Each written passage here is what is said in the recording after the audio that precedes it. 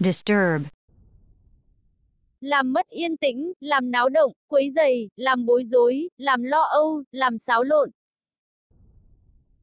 Vật lý, làm nhiễu loạn. disturb, disturb, I'm sorry to disturb you, but can I talk to you for a moment?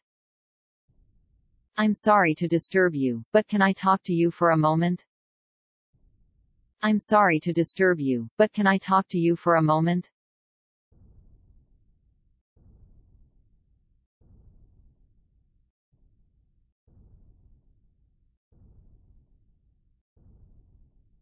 By the skin of your teeth.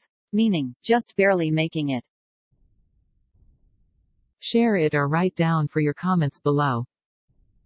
And don't forget to like this video and subscribe to our channel.